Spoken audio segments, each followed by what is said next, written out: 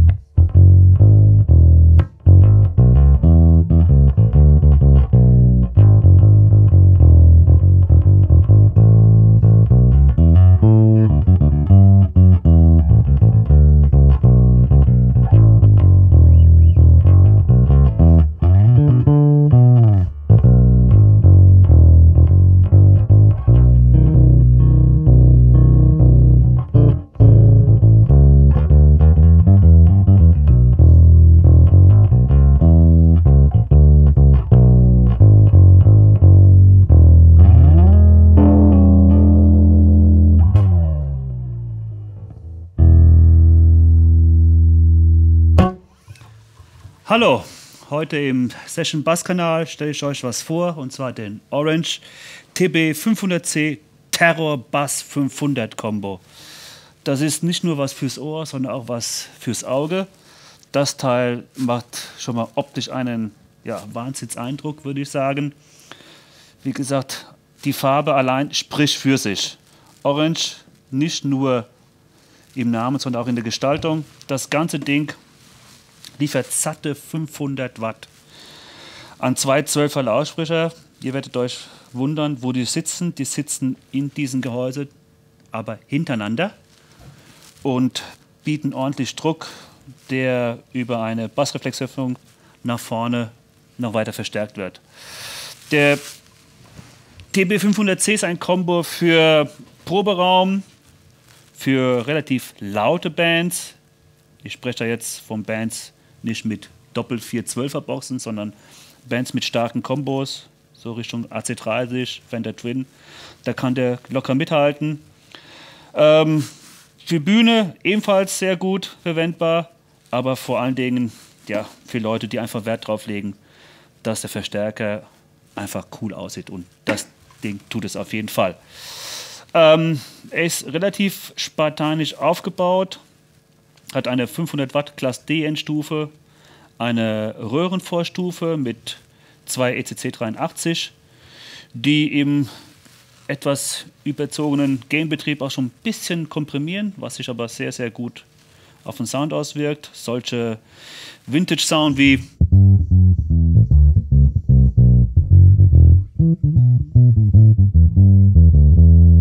kommt das sehr, sehr gut rüber. Moderne Slap-Sounds. Das geht auch ganz gut, wobei es für solche Sachen natürlich andere Amps gibt, die etwas, würde ich mal sagen, moderner klingen. Äh, deshalb habe ich auch zum ollen Amp auch meinen alten 62er Precision Bass mitgenommen, damit es halt eben akustisch und optisch gut dazu passt. Die Klangregelung ist ganz einfach gestaltet. Wir haben lediglich drei Regler, einen Bassregler, einen Mittenregler und einen Höhenregler. Damit kann man wirklich alles machen. Ähm, von Haus aus kommt der Terror-Bass-Kombo sehr, sehr natürlich rüber. Das bedeutet, er gibt schon das wieder, was der Bass so von Haus mitbringt. Hm, ich würde sagen, weniger ist mehr. Der Bassregler, der schiebt ganz ordentlich. Der Mittenregler ist sehr, sehr wirksam. Da kann man die Problemfrequenzen ganz gut in den Griff kriegen. Der Höhenregler ist von relativ brillant bis schön weich einsetzbar. Lautstärkenregler ist natürlich abhängig, wie ihr dann den IQ einstellt, aber man hat hier wirklich jede Menge Reserven. Eine gute Geschichte ist, das Ding ist relativ klein, nicht ganz so leicht, aber man kann das Ding ganz gut alleine tragen. Man hat einen Standby-Schalter, beispielsweise um die Pausen ein bisschen leiser zu gestalten, denn sonst rauscht das Ding dann doch ein bisschen sehr. Ähm, Metallecken, ganz normal, wie jeder alte Amp auch. Man kann die Front abmachen zur Studioabnahme mit Mikrofon. Die zwei Lautsprecher sitzen hintereinander. Man muss da gar nichts groß machen. Das Ding hat einen wirklich sehr, sehr hohen Schalldruck, der in erster Linie so ein bisschen weiter weg erst gut zur Geltung kommt. Ich würde sagen, ja, so für Proberäume ganz gut oder beispielsweise für kleine Bühnen mit einem, sagen wir mal, relativ lauten Schlagzeuger, das würde funktionieren.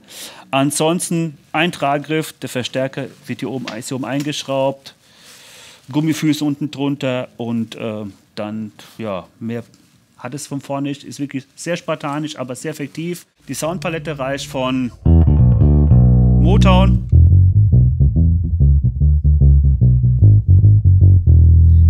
bis etwas mehr so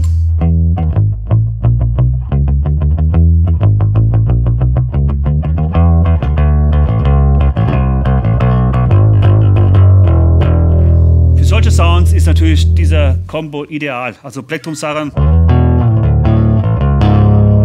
Da zerrt er so ein bisschen, so, ja, ich würde sagen, mal ganz natürlich, klingt aber.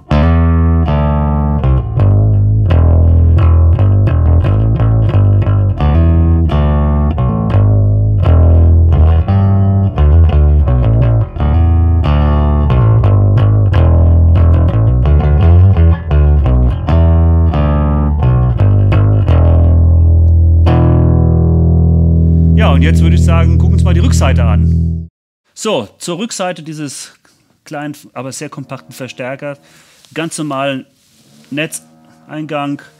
Hier kann man die Spannung wählen, indem man, ja, natürlich hier bei uns in Europa 230 Volt. Ein Lüfter, der sich leider nicht abschalten lässt, der aber von der Lautstärke noch verträglich ist für Studioarbeit. Hm, das äh, würde ich sagen, da muss man die Mikrofone vorne recht nah platzieren, damit man das nicht mehr mitbekommt. Ansonsten einen Speakon-Ausgang für, für den eingebauten Speaker und unten drunter gleichzeitig auch noch einen Speaker-Ausgang für eine zusätzliche Box. Man kann an diesen Amp eine zweite Box anschließen.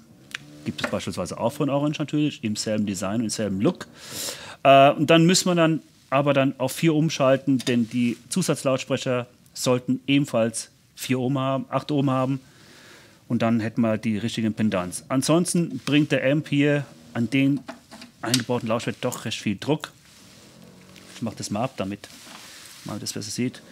Als nächsten ein symmetrischer Ausgang fürs Mischpult, Recording oder Live mit einem Ground Lift, der das Brummen eliminiert und zu guter Letzt ein Einschleifweg für Effekte wie Chorus, Delayer, solche Geschichten.